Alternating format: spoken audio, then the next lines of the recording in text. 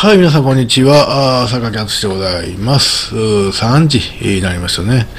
えー、今日は春分の日でですね、日本のマーケット開いておりません。えー、でもですね、日本以外は開いているようでございまし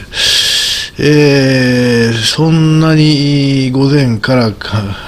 べて大きな動きはなさそうですね。明日、なんか株上がりそうな感じですね。えー、うん、うん、うん。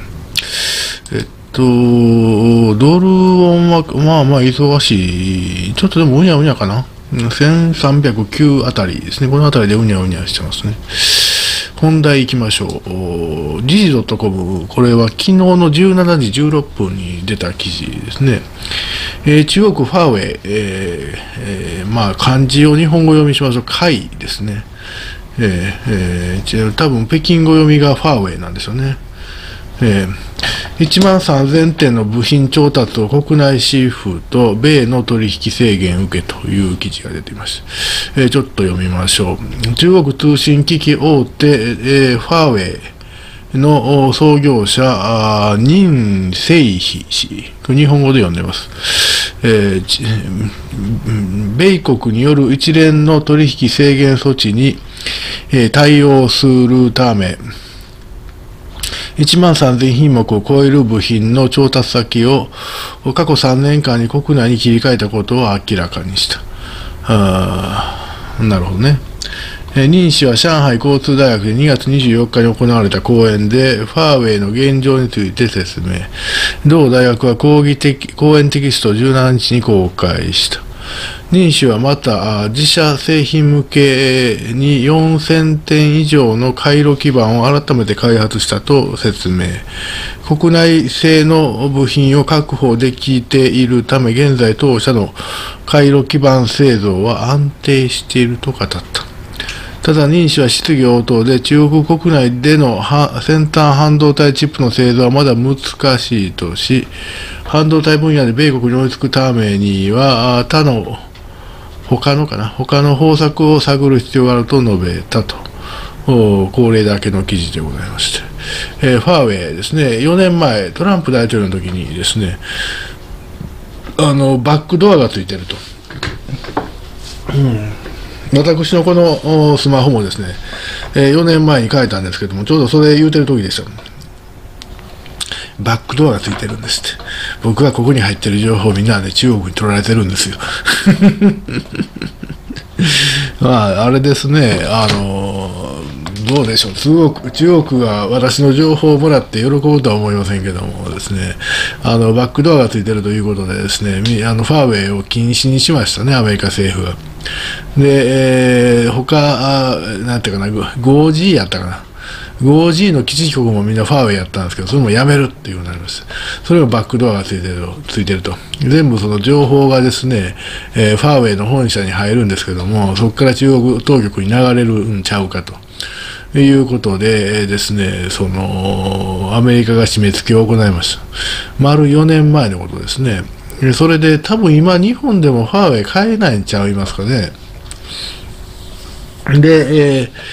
あのそれで恩恵を被ったのはサムソンですけどね。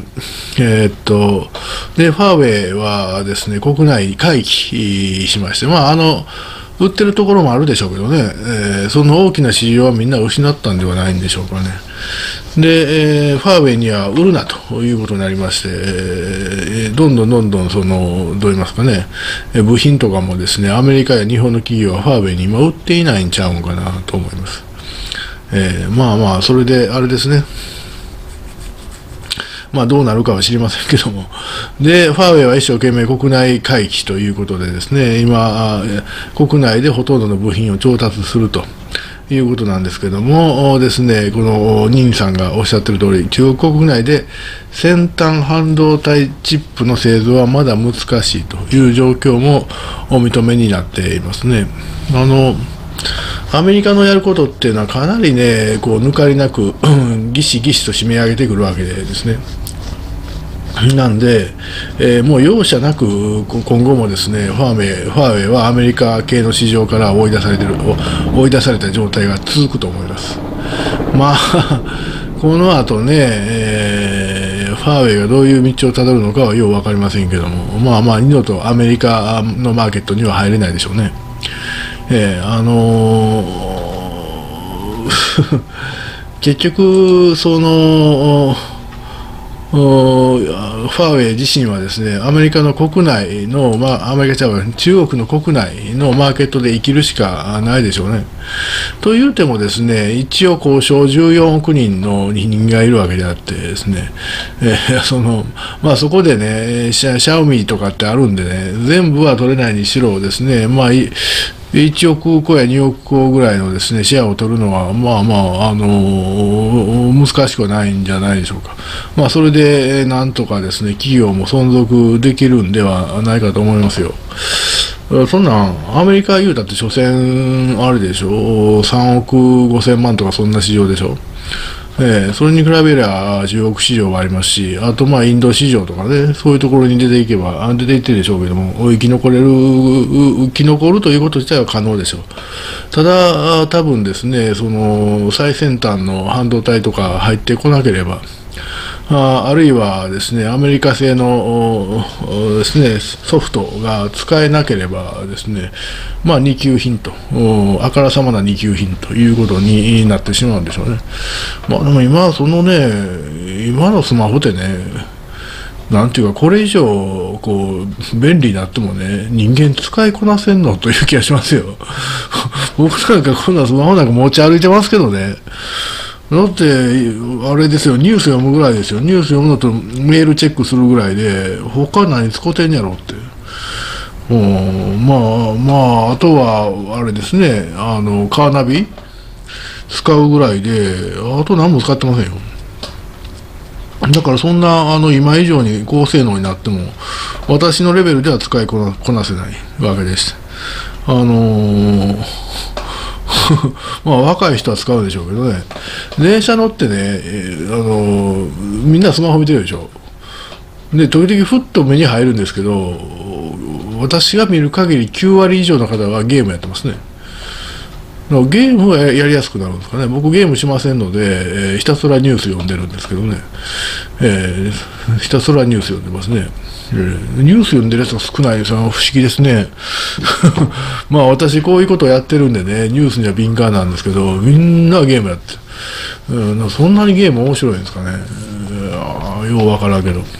まあ、あの、ゲームはね、どんどんどんどんスマホの、あの、どう言いましょうかね、面白くなっていけばなるほどですね、いろんな、あ機能、高機能がなければ使えないみたいなことになるでしょうけども、ゲームって人間にとっていらんもんでしょ。基本的にゲームがなかったら飯食えへんとかいうことはないわけであってあの、まあ、ニュースがなくてもいいんですけどね。あのニュースがなくても飯は食えるんですけどなんかやっぱりニュースは必要だと僕は思うんですけどね。あの文文文明社会で生きていくにはですね最低限主要なニュースぐらいは知っとかなあかんと私は思うんですけどね。まあええわ。であのファーウェイがどうなるかということですけどもまあ生き残るでしょう。あの中国国内の市場で、えー、でアメリカと中国のですねこの対立構造というのは多分この後も何と言いましょうかね中国共産党の独裁支配が終わってこう何かこうどうにかなるまではですね続くはずです。えー、あのアメリカっていうのはそういう国でしてそう簡単に緩めてはくれません、えー、なんでファーウェイはずっと中国の国内のドメスティックな企業として生き残っていくんちゃうんかなという気はしますね。なんでその中国のですね半導体関連の半導体関連というのは通信機器関連かな？あの象徴的なあそのどう言いますかね。衰退企業になるんではないかな。もう一時期世界を制覇してるしてたわけですから私だって持ってるわけですからねこれ。あの僕はこう使いませんから一番安いというかこうあのほぼただのですね機会をもらったもらったというか買わされたんでしょうけどね。あのなんで、えー、ファーウェイも生き残りはしますが、ドメスティックな企業になって、えー、昔そんなんあったなとかって、そのうち日本人もですね、思い出すことになるのではないかなという気はいたします。まあ、象徴的な企業ですね、米中対立の象徴的な企業がこのファーウェイということではないでしょうか。えー、っと、この G.com ですね、え、中国ファーウェイ、えー、1万3000点の部品調達を国内シフト。えー、米の取引制限を受けという記事でございました。一応アドレスを貼っておきますんで、ご興味のある方は確認をしてください。はい、皆さんどうもありがとうございます。